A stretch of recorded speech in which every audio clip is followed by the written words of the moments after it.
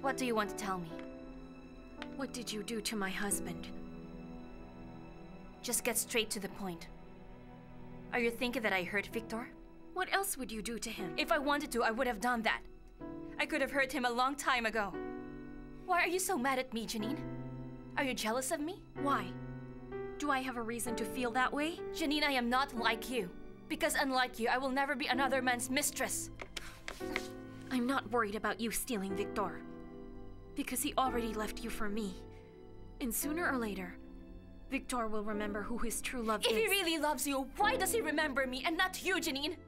You can try fooling yourself all you want, but the truth is, you're scared that Victor might never regain all his memories. Because that means he will leave you forever. That will never happen. Don't worry, Janine. I'm going to take good care of your husband. You better be careful. Because the next time you slap me again, I'm going to kill you. Don't my patience. Do you think I'm still scared of you? I wouldn't be here right now if I was a coward who lets herself be pushed around by others, especially by someone like you. I followed the rules. I've done everything I could not to tell the truth to Victor, even though it really hurt me. How about you?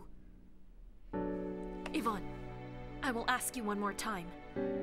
What did you do to my husband? I'm sorry, Mother.